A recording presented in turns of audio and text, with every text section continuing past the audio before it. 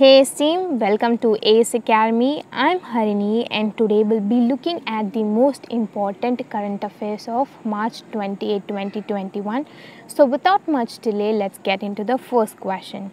So the first question is who has been appointed as the chairman of Airports Authority of India?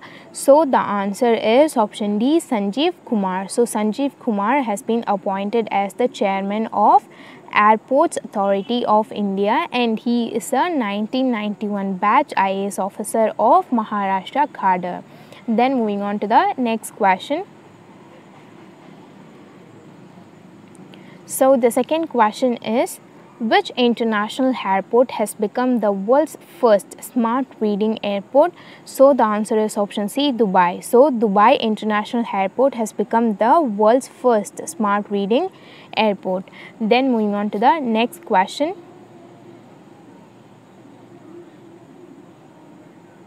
So the third question is India has won how many medals in the 2021 Al Ain World Shooting Parasports Tournament? So the answer is option A 7. So India has won 7 medals in the 2021 Al Ain World Shooting Parasports Tournament. Then moving on to the next question. So the fourth question is Asia's largest tulip garden has been opened in which state or union territories? The answer is option D, Jammu and Kashmir. So, the world's largest tulip garden, sorry, Asia's largest tulip garden has been opened in Jammu and Kashmir in Srinagar with around 4,000 visitors enjoying the bloom of the 25% of 15 lakh flowers planted over 30 hectares. Then moving on to the next question. So the fifth question is which date is being observed as the World Theatre Day every year globally? So the answer is option A 27. So the World Theatre Day is observed on 27th of March. Then moving on to the next question.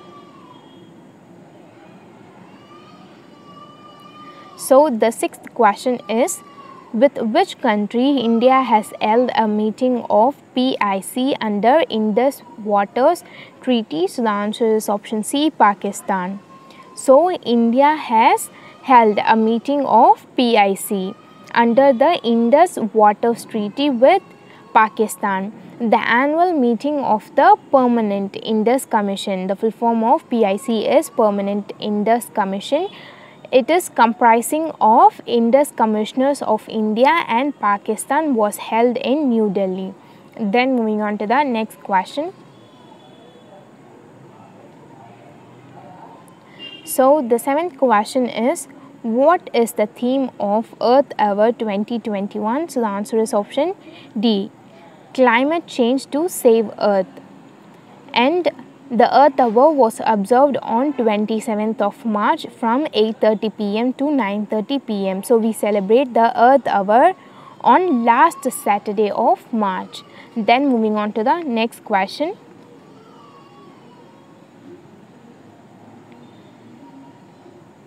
So, the eighth question is World's first mobile water from air kiosk and water knowledge center has been unveiled in which city's answer is option A Visakhapatnam in Andhra Pradesh and it was set up by Maitri Aquatech. So the world's first mobile water from air kiosk and water knowledge center has been unveiled in Visakhapatnam in Andhra Pradesh.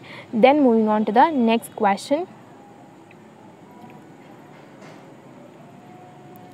So the ninth question is India and which country has conducted the first ever joint naval patrolling and PASEX exercise? So the answer is option B Madagascar. So India and Madagascar have conducted the first ever joint naval patrolling and PASEX exercise. Then moving on to the next question.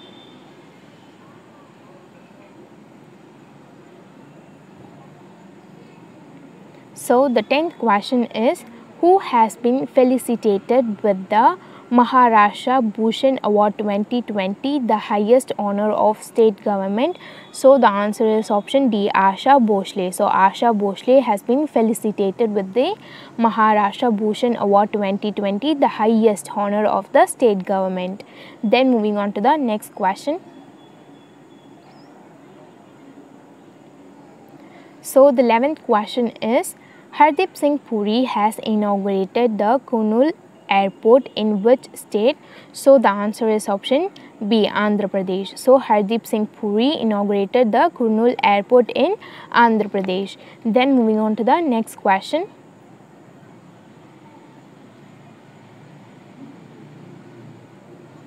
So the 12th question is who has virtually inaugurated the Central Scrutiny Center and Investors Education and Protection Fund Authority's mobile app? So the answer is option B. Nirmala Sitharaman. So Nirmala Sitharaman virtually inaugurated the Central Scrutiny Center and Investor Education Protection Fund Authority mobile app. Then moving on to the next question. So the 13th question is which state's chief minister has launched the Mera Mask Meri Suraksha campaign? So the answer is option D Madhya Pradesh. So Madhya Pradesh chief minister Shivraj Singh Chauhan has launched the Mera Mask Meri Suraksha campaign. Then moving on to the next question. So the 14th question is the sports minister Kiran Rijiju has included which game in Khelo India Youth Games 2021? So the answer is option A Yogasana. It has been included in a bid to develop it as a competitive sport. So Sports Minister Kiran Rijiju has included Yogasana in Khelo India Youth Games 2021. Then moving on to the next question.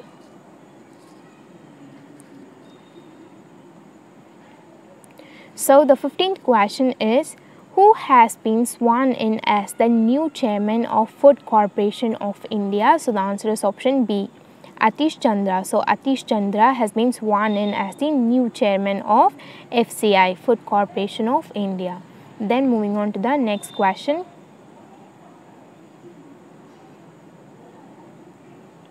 So the 16th question is who has been appointed as the CEO of the Unique Identification Authority of India? So the answer is option B Saurabh Garg. So Saurabh Garg has been appointed as the CEO, Chief Executive Officer of the Unique Identification Authority of India and he is a 1991 batch IAS officer from Odisha, Carder. then moving on to the next question.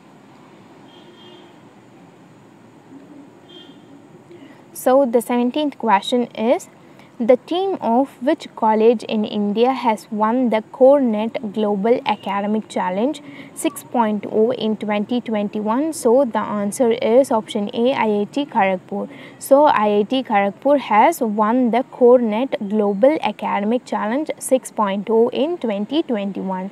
Then moving on to the next question. So the 18th question is Earth Hour is an annual event that is marked on which dates? The answer is option A, last Saturday of March. So, the Earth Hour is an annual event that is marked on the last Saturday of March. Then moving on to the next question. So, the 19th question is how many Ayush Health and Wellness Center have been inaugurated by Jammu and Kashmir LG Manoj Sinha? So the answer is option D 73. So 73 Ayush Health and Wellness Center has been inaugurated e inaugurated by Jammu and Kashmir LG Manoj Sinha. Then moving on to the next question.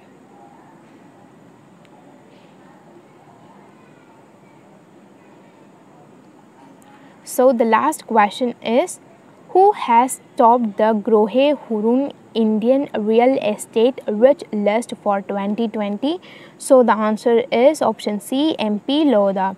So Mangal Prabhat Lodha and the family of Lodha Group is India's richest real estate developers on Grohe Hurun Indian real estate rich list for 2020 so that's it. We are done for the day and thank you for watching our video. And if you think that we are doing good please let us know in the comment section below because it means a lot to us.